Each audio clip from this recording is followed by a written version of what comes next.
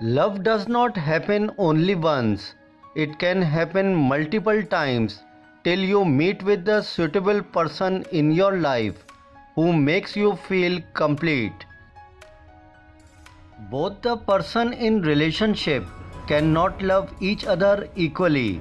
One person will definitely sacrifice more, give more than he or she gets. If you succeed in cheating someone, don't think that person is fool.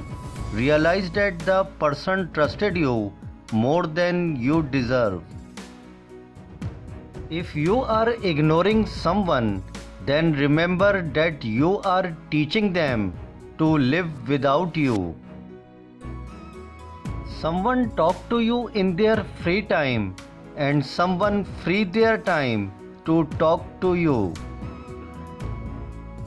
Anyone can want you, but the love hits different when someone value you.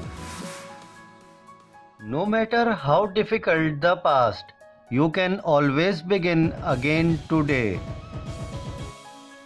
Great mind discuss ideas, average mind discuss events, and small mind discuss pupil.